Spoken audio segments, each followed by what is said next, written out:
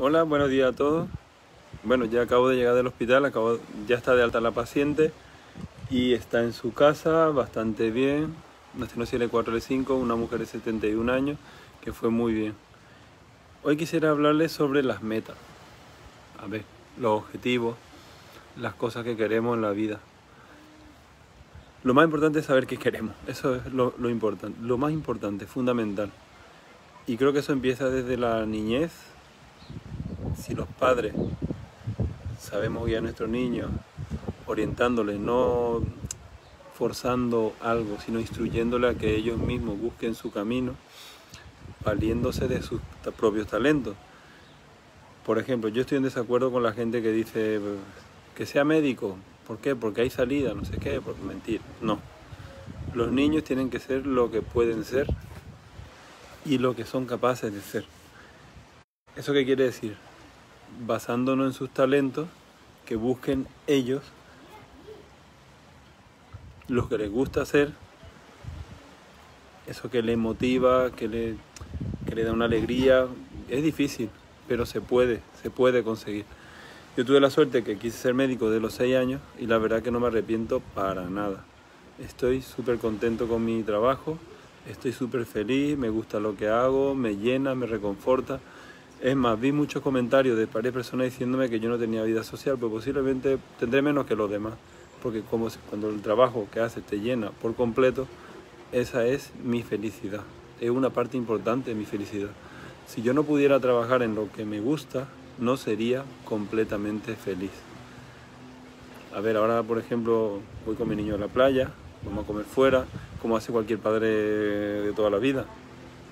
Por la mañana hice deporte y si ustedes pueden ver en los vídeos, en las fotos anteriores, llevo cinco semanas con una bota, una férula, por una fractura del quinto metatarsiano.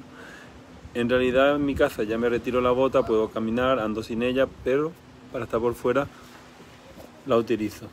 ¿Qué es lo que me, qué es lo que me mantiene trabajando a, pesar de esa fractura? A ver, cuando iba al hospital la gente me decía, ahí está, no estás de baja, pero como ya estás de baja, si vengo, si hago lo que me gusta, si hago lo que me apasiona. Y además yo tengo una filosofía en la vida que si me rindo una vez, me rindo todas las veces y yo soy de las personas que no se rinden nunca. No me rindo nunca. Y quiero transmitirle ese sentimiento a ustedes. Primero, saber lo que queremos. Segundo, no rendirse nunca. Buscar la forma de sacar un beneficio dentro de la dificultad. Superar los obstáculos con valentía.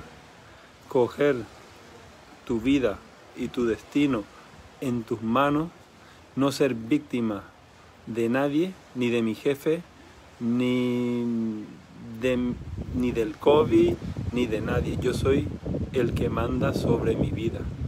Tengo el control absoluto. Eso no quiere decir que yo sea un irresponsable. La bota con la, que yo estoy andando mm, está hecha para eso, para que la gente pueda hacer una vida normal, andar, caminar, mientras está curando la fractura. Ahora en este momento estoy sin la bota.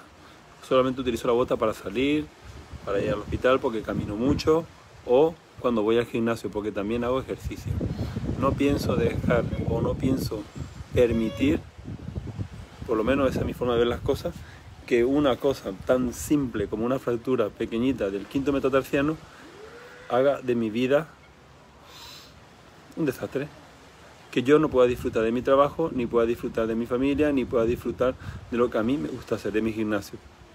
Otra cosa es que tengo una enfermedad grave en la que ya bueno, estoy incapacitado para toda la vida, gracias a Dios no tengo eso.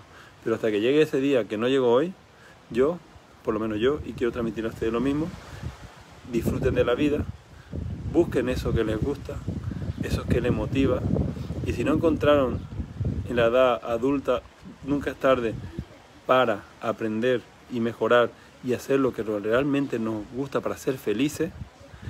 Y es una responsabilidad muy grande de los padres enseñar o tratar de que vuestros hijos vean eso que realmente les gusta, sus talentos naturales y que hagan con mucha pasión eso, que vivan con mucha pasión eso. Yo entre mis hijos tengo uno que quiere ser médico, Tengo otra que le gusta el arte, yo le digo, mira, yo lo que hagan, lo que le guste, sus inclinaciones naturales, yo le voy a apoyar en todo, siempre.